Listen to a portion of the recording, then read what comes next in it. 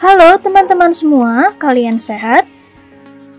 Follow yuk TikTok kami bijak, Instagram, dan subscribe YouTube-nya ya. Perempuan berhijab bernama Nora Al-Matroshi berusia 30 tahun asal Uni Emirat Arab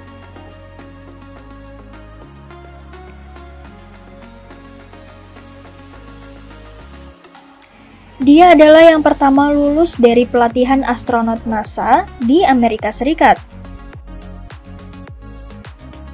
Dia ahli mesin yang bekerja di perusahaan konstruksi perminyakan nasional di Abu Dhabi.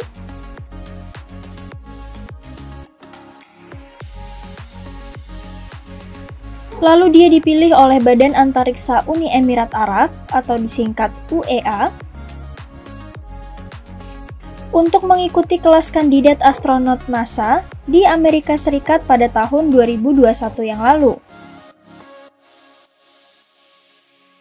Setelah pelatihan selama 2 tahun termasuk belajar spacewalk, seperti melayang bersama 11 astronot lainnya,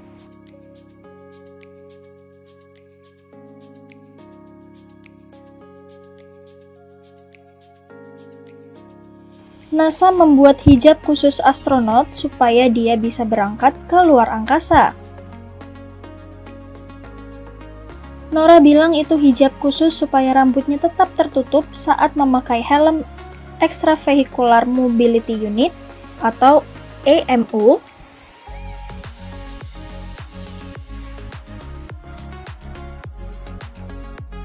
yang khusus perempuan muslim.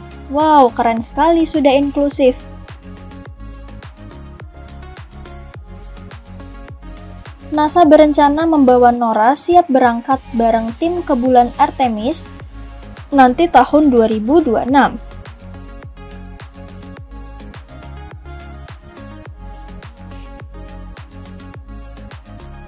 Semoga perjalanannya tidak ada kendala dan lancar.